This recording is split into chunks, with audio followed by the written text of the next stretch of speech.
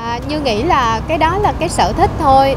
Mình thay đổi hình ảnh một tí xíu đi khán giả nhìn à, thấy lạ mắt hơn rồi à, thú vị hơn thôi. Còn à, hình ảnh thì cả như vẫn như vậy thôi vẫn là một người diễn viên à, thể hiện nhiều cái vai trò của mình. À, chẳng ai muốn định hướng cái hình ảnh mình theo một cái con đường duy nhất hết tại vì khán giả họ không có thích những cái điều cũ. Nên như nghĩ là như cũng sẽ làm những cái gì à, nó tới với mình một cách tự nhiên và sẽ cố gắng hết mình với những thứ đó thôi à, như cũng đang à, nó là một dự án à, mà như nghĩ là à, một cái sự à, mình mình thích thì mình làm thôi nên nó cũng không có gì mà đáng mà phải trông chờ hết mức.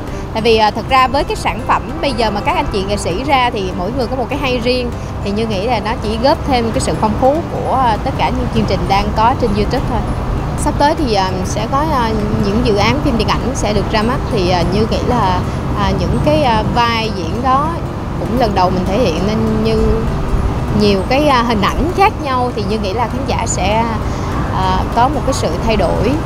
À, như không chỉ là diễn hài hay là những cái vai tương tự mà còn có những cái vai hơi ác hơi thâm một tí thì như nghĩ là nó một cái sự thay đổi cho bản thân mình.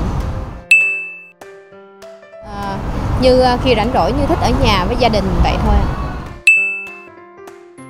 À, khá như bí ẩn à, có khả như nhìn mặt ác liền thì có chứ còn bí ẩn thì à, chưa thấy như chưa thấy có sự bí ẩn nào hết. Toàn là nhìn cái là biết là nhân vật nó kiểu mà à, giang hồ hay cái gì đó. Thì như nghĩ là những cái vai đó như cảm thấy rất là thích và hy vọng là quý vị khán giả sẽ đón nhận nó.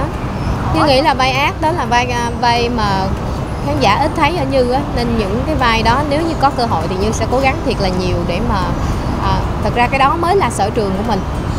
Thì à, lúc đi học trong trường á là những cái vai ác những cái vai độc đó mới là sở trường. Thì khi ra trường không hiểu sao mà nó rẻ một cái mình thành diễn viên hài mà chính bản thân mình mình cũng không hiểu sao mình thành diễn viên hài luôn.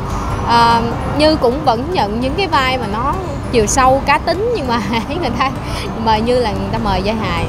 Có thể là người ta à, quen với hình ảnh như vậy. Như vẫn mong như vậy hy vọng là mình lột xác đủ để cho người ta thấy chứ nhiều khi lột và cũng không hết thì người ta cũng không thấy được điều đó. Ai cũng muốn định hướng mình thành nhiều màu sắc khác nhau hết thì bản thân như thì như như muốn thể hiện được nhiều vai trò. À, cái đó là cái sự đã đời của mình trong nghề và cái đó là một cái giống như là một cái điều mình dành tặng cho khán giả. Nếu nói hài lòng thì như không có gọi là hài lòng tại vì không ai mà hài lòng với những thứ mình làm ai cũng có những sai sót bản thân như cũng vậy. Như chỉ đang cảm thấy là mình à mình đang đi đúng hướng của mình thôi còn hài lòng thì chắc chắn là chưa.